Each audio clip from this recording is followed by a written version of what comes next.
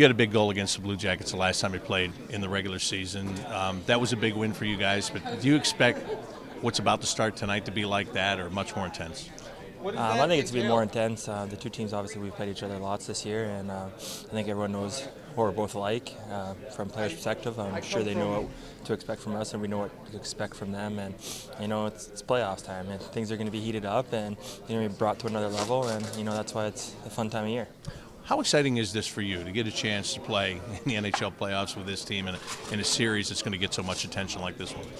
Yeah, it's definitely really exciting. It's been a it's been a whirlwind of a year and a crazy year, and uh, you know, for me, I just want to play a simple game out there and go out there and focus on shift by shift, and you know, just take it all in too. It's a fun experience to be a part of, and uh, you know, it's gonna be a good series. Is it easier to take it all in when you're in a dressing room like this with Sidney Crosby and Evgeny Malkin? It's so many experienced players that have been through this so many times before.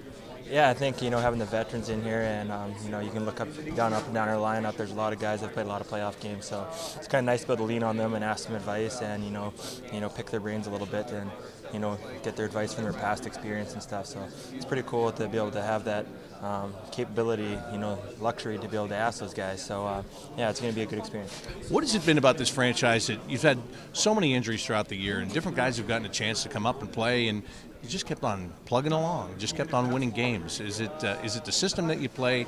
Is it the personnel that stayed healthy, or what exactly is it? Do you know? Um, I'm not sure. I'm, you know, there's a lot of depth on this team, I think, and you know, uh, you can plug guys in different roles, and I think they're comfortable doing that. And you know, guys have stepped up in certain situations, and you know, guys that have come up from Wilkes, I think, have stepped up, and I think they've done a good job up here too as well. So I think you know, just having the depth on the team and guys getting put in different roles and being able to succeed at that.